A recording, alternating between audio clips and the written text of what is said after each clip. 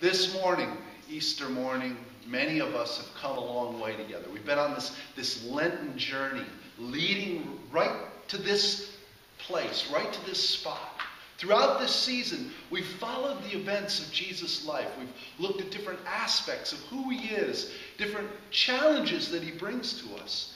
God came to earth in bodily form and offered these incredible, radical teachings. And this, these teachings, is probably the hardest part for us, for Christians, to understand.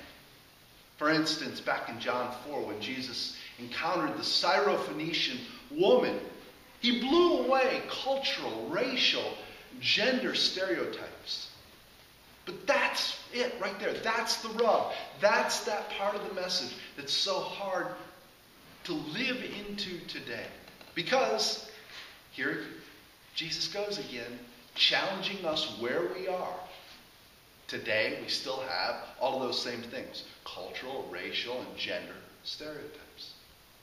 One of the things Jesus didn't do was he didn't take away anybody's ability to think and react. He didn't take away our ability to feel. And maybe that was the problem.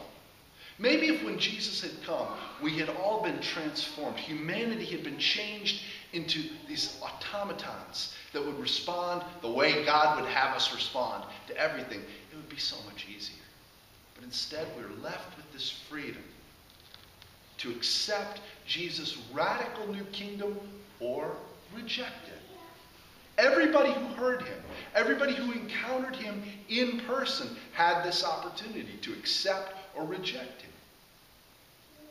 When Jesus had this encounter with the Syrophoenician woman in John 4, this is the woman at the well, it's up to us this morning, this day, this generation, to study that story to study that passage and to understand what's going on and, and what Jesus is doing and what's happening in that passage. When God came to earth, it was the religious leaders who used their freedom to reject Jesus and to dismiss the possibility of a kingdom of heaven. They didn't want a new reality. They liked the reality that they had because the reality that they had included power and authority. God continues to give us this freedom to decide whether or not to accept Jesus' kingdom or to avoid the challenge that it makes to our lifestyle. We can accept the wonder, the beauty, the majesty, and the fulfillment of a life in Christ. All we have to do to think about the beauty is to step outside this door and look at what a random collection of flowers being put together has begun to create before our very eyes. The religious leaders who were around when Jesus walked on the earth decided to do things their way. They didn't want to do things Jesus' way.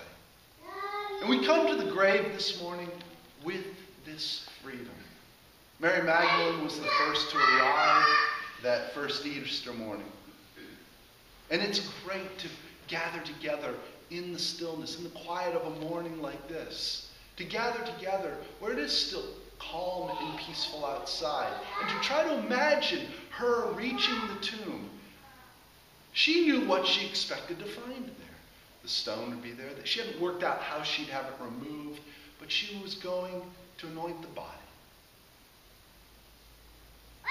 But she arrives to find that the stone is already gone.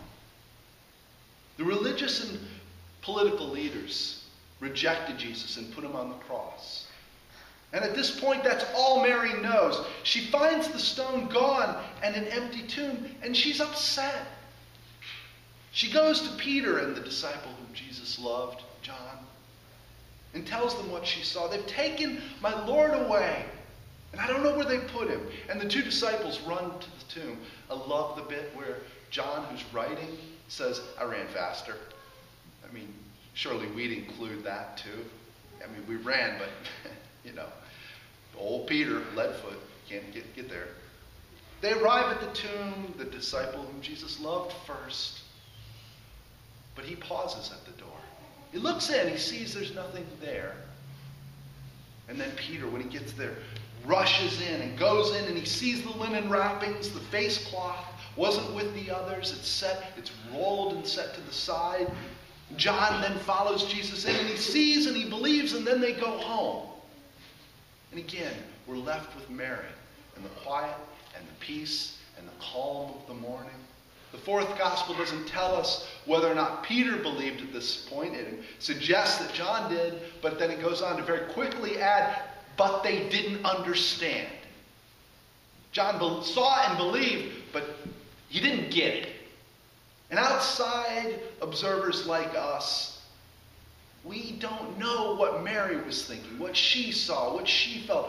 All we know is she didn't leave. She stayed. She kept vigil, looking in. And in her grief, in between her, her tears running down her face, as she, she glanced into the tomb, she sees two heavenly figures there. Why are you weeping? They've taken my Lord away, and I don't know where they put him, she says. She, the fourth gospel leaves some details out. How did they get in there? What did she think when she looks up and she sees something in the tomb? But then she hears someone behind her. Again, the voice asks, Why are you weeping? Whom are you seeking? She looks back and she assumes it's the gardener, and she's like, Sir, I mean, I picture Seriously, if you, you can just tell me where you've taken the body, I will go and take him away. This is the stunning moment for which we have been waiting. Humanity failed miserably, and we continue to fail miserably. We continue to need God's grace. We continue to re crucify Christ with everything we do that serves to separate us from God. When we don't live into this divine calling in Christ, we put Jesus back on that cross again. And so we've been waiting for this moment. We've been waiting because we would almost certainly do the exact same thing today as the religious and political leaders of first century Palestine. And instead of listening to Jesus and following him as God incarnate, we would reject him, spit upon him, torture him, beat him during his interrogation. We would take him through the mock trial with the presumed guilty verdict even before it began. And finally, we would nail him to the cross just to get rid of him once and for all. When Jesus came to earth, humanity remained free to accept or reject him. People could choose whether or not they wanted Jesus. What does it mean to choose Jesus? What, is, what was it that he was offering? What was it that was so bad about this kingdom of heaven that made people so upset? Was it the healing? Is it the, the peace where there's unrest? Is it the water for the thirsty? Food for the hungry? Is it the unedited possibility of love? That's what Jesus' kingdom is based on. And that's what Jesus came to bring into the world. And so here we stand this morning with Mary, still at the tomb. We have her weeping and asking the gardener, Where is my Lord? Where is this one whom I came to find? In the stillness of the morning, the suspense for her is building. I hope you can feel it too. When God came to earth in bodily form, people weren't ready. We weren't ready. They didn't understand what he was offering. What they wanted and what they got were two different things. What they wanted, or maybe I should even say, what we want is a Messiah like the one from last week. The Palm Sunday Messiah, the parade, the conquering Jesus, the one who makes the big triumphal entry, the one who comes in, rocks the house, and says, I'm God, I'm here, and this is how it's going to be. We don't want a suffering Messiah who can be slain and nailed to a bitter cross. They went to the tomb to find him, but he wasn't there. Where is Jesus? We find him where God is at work. We find him in the beauty of people who are a very diverse lot, coming together and randomly placing flowers on a cross like the one outside our sanctuary to create something beautiful. That's God at work. That's the presence of Christ. We find Jesus in worship. People raising their voices together to say, Hallelujah! Christ the Lord is risen. We find him in Haiti, restoring broken lives. In the streets of Calcutta, with the Sisters of Mercy and other mission projects like Mother Teresa's charity. We find Jesus with the suffering, the lonely, those who weep, those who have been hurt, scorned, and spit upon. He says to each one, all in that simple word when he says, Mary. And suddenly she's able to see. He says to each one, I've been hurt too. I loved humanity so much.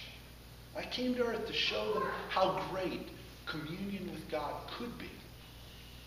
You know what they did? They spit on me, beat me, tried to kill me several times before they actually succeeded. But before they killed me, they, they put me through this terrible trial. And you know what? I still love them anyway. I still love you anyway. Jesus will not be kept in the ground, locked in the tomb, and set aside in order to be able to be brought out for our convenience when we need him in the hospital or when we want him to show up to bless a, a wedding or to give us a few words of comfort at a funeral. Jesus won't be kept away. You know why? The grave was empty.